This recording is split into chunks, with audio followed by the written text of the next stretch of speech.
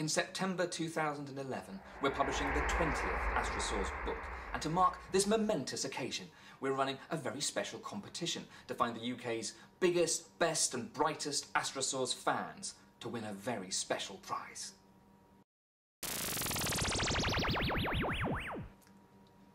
To become a super fan, you will need to create your very own Astrosaurs character.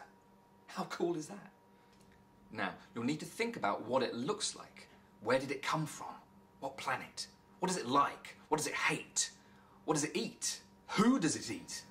Once you've got all this information in your head, it's time to get creative, to get it out there. You can draw it on paper, you can mould it out of clay, you can paint it on the back of an old cereal packet, you can do anything you like. Just get that Astrosaurs character out there and in a state that you can send it to us at Steve Cole head office. Not the office with my head in, that would be weird. Uh, Random House children's books, really. Uh, if you go to my website, stevecolebooks.co.uk, you can find a complete list of competition rules and details and also find out exactly what fabulous prize is up for grabs. So go, go now, go look now. What are you waiting for? I've got nothing more to say. Just go and go and do it now, now, quick! Before it's the 21st book or something, it's all too late. Get on with it!